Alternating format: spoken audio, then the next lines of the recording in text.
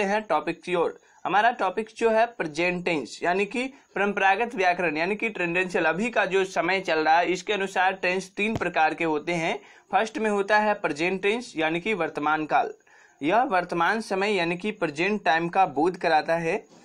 जब कोई काम वर्तमान समय में हो, है, होता है या हो रहा है या अभी हो गया है जस्ट खत्म हुआ है तो उसकी क्रिया प्रेजेंट टेंस में होती है। एग्ज़ाम्पल वह पढ़ता है ही रीड्स वह पढ़ रहा है ही इज़ रीडिंग वह पढ़ चुका है तो ही हैज़ रीड वह पढ़ता रहा है ही हैज़ बीन ये सभी रीडिंग ये सभी जो आप एग्ज़ाम्पल देखे हैं, ये है प्रेजेंट टेंस का। अब प्रेजेंट टेंस में भी कुछ टाइप्स होते हैं, उसके बारे में पढ़ेंगे। उसके पहले हम पढ़ते हैं पास्ट टेंस के बारे में, कि हम तीन थ्री टेंस जो बताए हैं पास्ट टेंस फ्यूचर टेंस और प्रेजेंट टेंस तो प्रेजेंट टेंस देखिए, अब पास्ट टेंस को देखिए। पास्ट टेंस में होता है यह बीते हुए समय, यानी कि पास्ट टाइम का बोध कराता है। कोई कार्य बीते हुए समय में समाप्त हो गया हो, या हो रहा था तो उसकी क्रिया पास्ट टेंस में होती है। एग्ज़ाम्पल वह पढ़ता था ही रीड वह पढ़ रहा था ही वाज रीडिंग वह पढ़ चुका था ही हैड रीड वह पढ़ता रहा था ही हैड बिन रीडिंग ये सभी था यानी कि पास्ट टेंस का एग्ज़ाम्पल अब हम देखते हैं तीसरा जो टेंस होता है, वो होता है फ्यूचर टेंस फ्यूचर टेंस में होता है यानी कि भविष्य काल. यह आने वाले समय फ्यूचर टाइम्स का बोध कराता है. जब कोई काम आने वाले समय में होगा तो उसकी क्रिया फ्यूचर टेंस में होगी. यानी कि वह पढ़ेगा, वह पढ़ता रहेगा, वह पढ़ेगा ही विल रीड वह पढ़ता रहेगा ही विल बी रीडिंग वह पढ़ चुका रहेगा तो ही विल हैव रीड वह पढ़ता रहा होगा। He will have been reading ये सभी जो एग्ज़ाम्पल थे, ये सभी फ्यूचर टेंस के एग्ज़ाम्पल थे। तो अभी तक में दोस्तों, यह समझ में आ गया होगा कि पास्ट टेंस फ्यूचर टेंस एवं प्रेजेंट टेंस क्या होते हैं और उनका किस तरह से एग्ज़ाम्पल होता है। बिल्कुल सरल भाषा में, हिंदी भाषा में आपको हम इंग्लिश सिखा रहे हैं। यह हमारे चैनल की सबसे पहली विशेषताएँ है कि हम इंग्लिश सिखाने के लिए हिंदी में प्रयास किए हैं। अब हम बात करते हैं आगे कि प्रत्येक टेंस के चार भेद होते हैं। यानी कि जैसे कि आप देखे हैं present tense future tense past tense ये तीनों के अलग अलग प्रकार से, यानी कि अलग अलग से चार भेद होते हैं। पास्ट टेंस के भी चार भेद होते हैं फ्यूचर टेंस के भी चार भेद होते हैं और प्रेजेंट टेंस के भी चार भेद होते हैं। तो एक नंबर में जो होता है इनडिफिनिट और सिंपल टेंस ये सभी के लिए है। पास्ट टेंस में भी होगा पास्ट इनडिफिनिट या सिंपल टेंस फिर फ्यूचर टेंस अगर आएगी बारी तो उसमें भी होगा फ्यूचर इनडिफिनिट या और फ्यूचर सिंपल टेंस। अगर आ जाएगी, क्या पास्ट हो गया प्रेजेंट टेंस में तो प्रेजेंट इनडिफिनिट हो जाएगा और प्रेजेंट सिंपल टेंस। दूसरा नंबर में होता है कॉन्टिन्यूस टेंस। तो कॉन्टिन्यूस में इसमें भी तीनों आता है। पास्ट कॉन्टिन्यूस फ्यूचर कॉन्टिन्यूस है ना? और प्रेजेंट कंटिन्यूस उसी तरह प्रेजेंट परफेक्ट फ्यूचर परफेक्ट इस तरह से चारों प्रकार जो होते हैं, वो चारों पार्ट में रहते हैं। तो हम इस वीडियो में पूरा टेंस खत्म करेंगे। एक ही वीडियो में वीडियो थोड़ा लंबा बनेगा, लेकिन लास्ट तक में देखिएगा तो उम्मीद करता हूँ कि आज के बाद आपको टेंस का दूसरा कोई वीडियो देखने को नहीं ज़रूरत पड़े। तो सबसे पहले हम बात कर लेते हैं सिंपल प्रेजेंट टेंस का। ठीक ना? सबसे पहले किसका बात करते हैं? सिंपल प्रेजेंट टेंस का। सिंपल प्रेजेंट टेंस में क्या काम होता है वो देखिए। इसमें अस्थाई कार्य, यानी कि परमानेंट एक्टिविटी जो अभी हो रहा है है ना? चिरंतन सत्य यूनिवर्सल ट्रुथ सिद्धांत। प्रिंसिपल लोकोक्ति, यानी कि प्रूव का बोध करने के लिए हम इस टेंस का प्रयोग करते हैं। जैसे star shine at night oil floats on water number two में होता है स्वाभाविक, यानी कि हैबिचुअल नियमित, यानी कि रेगुलर बार बार होने वाला रिपीटेड कार्य को अभिव्यक्त एक्सप्रेस करने के लिए इस टेंस का प्रयोग होता है। जैसे he always help me we get up every day at five clock number three में होता है शर्त, यानी कि कंडीशन का बोध कराने वाले वाक्यों में यदि प्रिंसिपल क्लाउज में फ्यूचर टेंस प्रयुक्त हो तो सब ट्रिवियल क्लाउज में इस टेंस का प्रयोग होता है। He will go home after finish his work तो ये था, ये क्या था?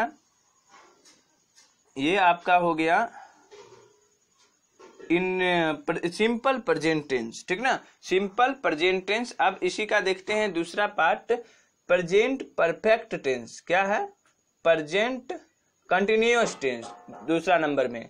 ऐसे कार्य जो बोलने के वक्त जारी हो के लिए इस टेंस का प्रयोग होता है। जैसे they are dancing in the room number two में, इस टेंस का प्रयोग ऐसे कार्य के लिए भी होता है, जो बोलने के वक्त तो नहीं हो रहा है, लेकिन अभिष्ट समय के आसपास या इन दिनों हो रहा है। For example he is teaching us grammar number three में है, इस टेंस का प्रयोग निकट भविष्य, यानी कि जो अभी तुरंत हुआ है नियर फ्यूचर के कार्यक्रम या योजना का बोध कराने के लिए होता है, जैसे she is living for Delhi tonight अब बात करते हैं थर्ड नंबर में present perfect tense present perfect tense जो होता है, इस टेंस का प्रयोग ऐसे कार्य, यानी कि एक्शन के लिए होता है, जो अभी समाप्त हुआ है, वो प्रजेंट परफेक्ट टेंस होता है। He has left for home इसका दूसरा पॉइंट होता है कि इस टेंस का प्रयोग ऐसे कार्य का बोध कराने के लिए होता है जो भूतकाल, यानी कि पास्ट में आरंभ हुआ है और वर्तमान, यानी कि प्रेजेंट में जारी है। इस प्रकार के भाव के साथ साइंस फोर का प्रयोग आवश्यकता अनुसार होता है। जैसे I have known her for five years he said he has lived here since 1992 अभी सब हम लोग चल रहे हैं प्रेजेंट टेंस के।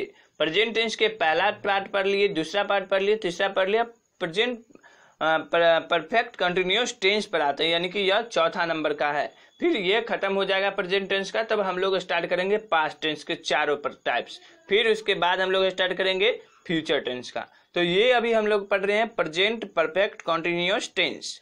इस टेंस का प्रयोग मुख्यतः उस कार्य को व्यक्त करने के लिए किया जाता है, जो भूतकाल, यानी कि पास्ट में प्रारंभ हुआ और अभी हो रहा है, ठीक ना? जो भूतकाल, यानी कि पहले प्रारंभ हुआ है और अभी वर्तमान में चल रहा है, वो present perfect perfect continuous tense कहलाता है। फॉर एग्ज़ाम्पल हो गया he has been playing since morning है ना?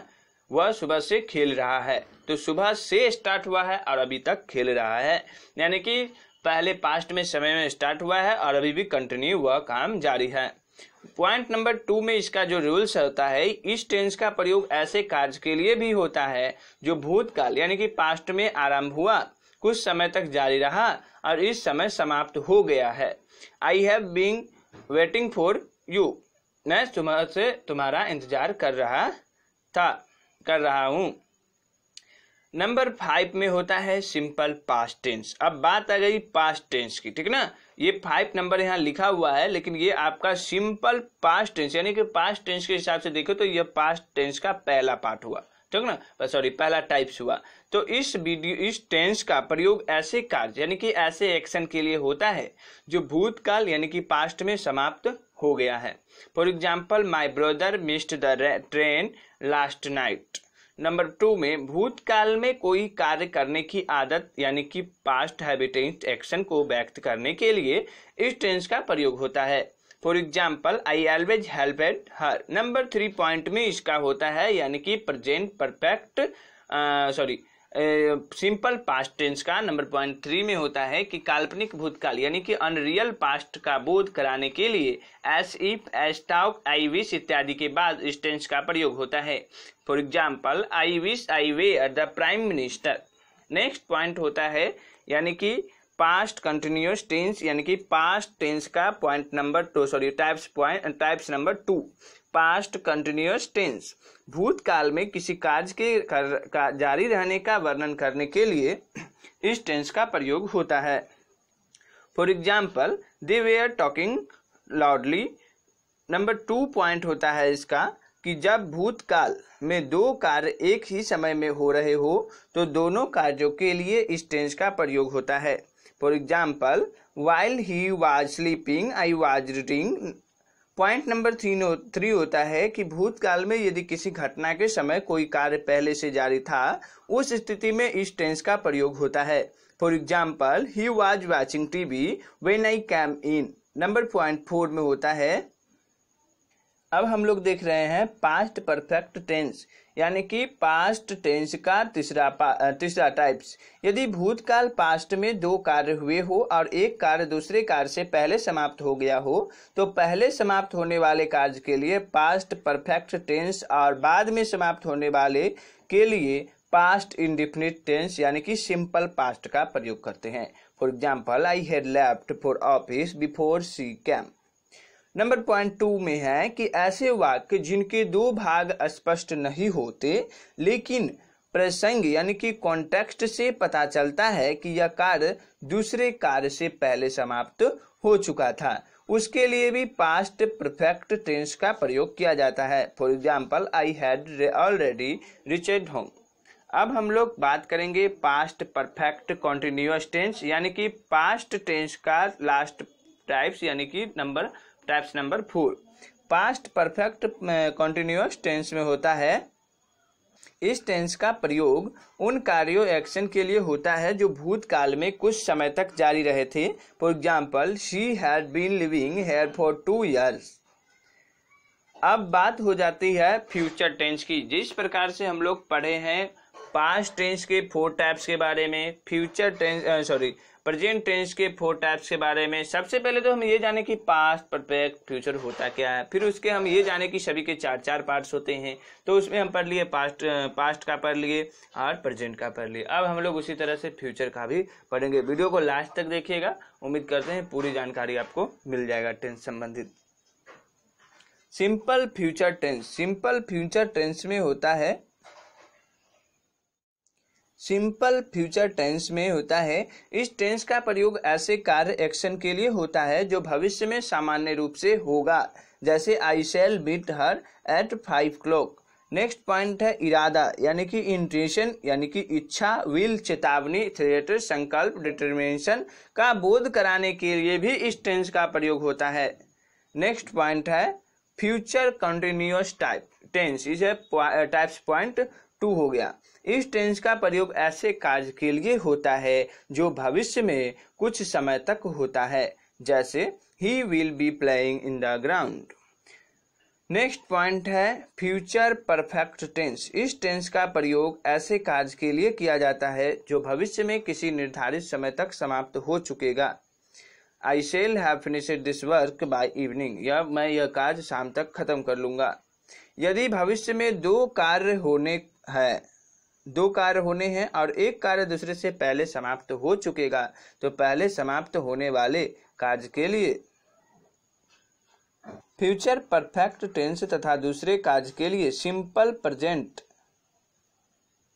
टेंस का प्रयोग होता है। जैसे we seal shall have come before he sleeps next point है फ्यूचर परफेक्ट कॉन्टिन्यूस टेंस। इस टेंस का प्रयोग ऐसे कार्यों को व्यक्त करने के लिए किया जाता है जो भविष्य में किसी निश्चित समय तक जारी रहेंगे।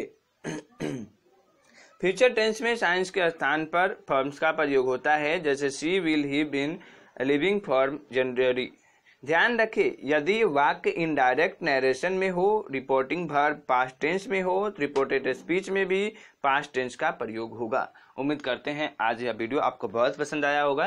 टेंस आपका डाउट क्लियर हो गया होगा। पूरी एग्ज़ाम्पल के साथ हिंदी में आप समझ गए, इसका नोट्स बनाइए, इसका पीडीएफ डाउनलोड करने के लिए हमारे टेलीग्राम से ग्रुप से ज्वाइन होइए।